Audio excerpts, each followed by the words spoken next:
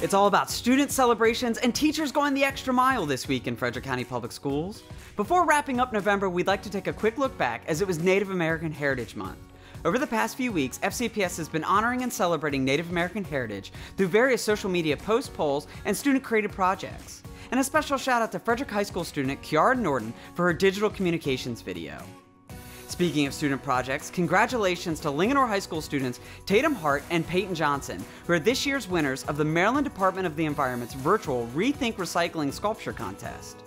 Students were tasked with creating an artistic sculpture using only recycled materials, and of the 70 pieces submitted, we're proud to see our two Lancers come out on top. Lastly, we end this week by highlighting our outdoor school and science teachers. Not afraid to mix it up in the mud and the rain, we appreciate the innovation that they have brought to their virtual classrooms. For more information on any of these topics, check us out on social media or fcps.org.